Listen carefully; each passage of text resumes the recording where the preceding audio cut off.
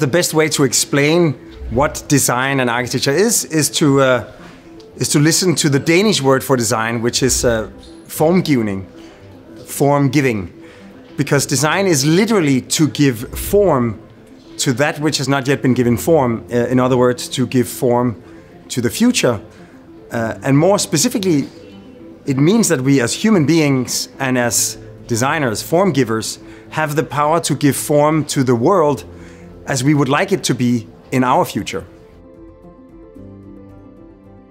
Maybe there is an example where sustainable cities and sustainable buildings are not just better for the environment, they're also better for the lives of the people that inhabit them. And we call this hedonistic sustainability. Rather than sustainability being about how much you're willing to compromise, it becomes actually about how great a life do you want to have.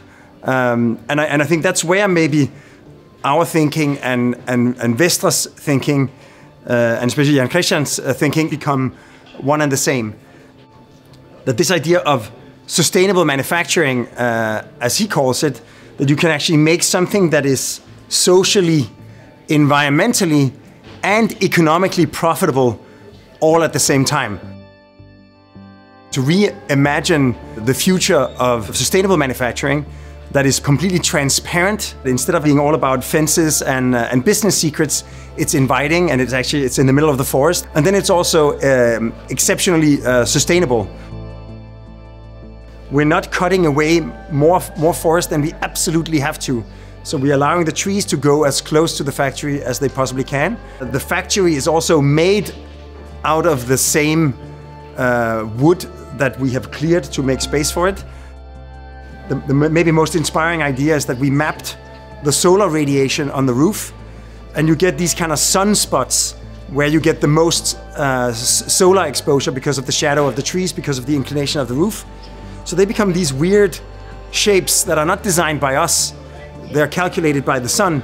Uh, so of course you'll have those configurations on the roof, but we've actually made the, um, the roof accessible. So from all four sides, you are invited to walk up either on the stepping facade, looking into the factory, so you can look into the factory, down on the factory floor, and, and you find yourself on the, uh, on the roof.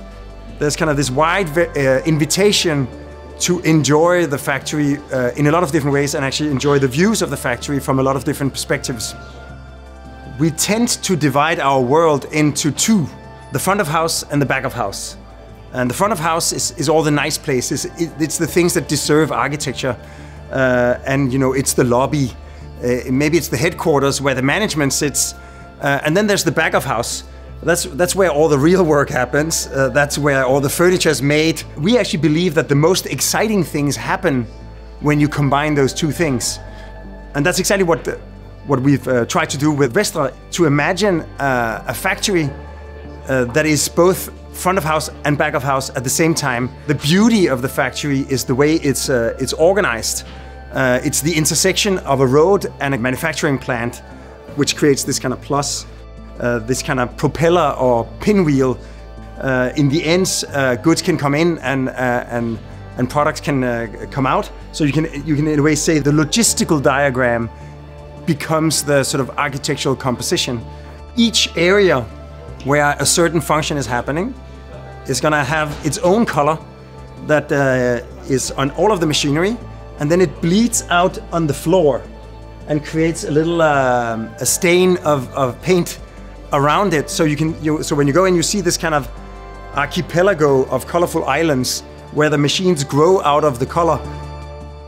In the future, it, it could be one of the most exciting places to go see uh, not just for someone who's uh, excited about furniture or factories, but for someone who's excited about architecture and, and nature.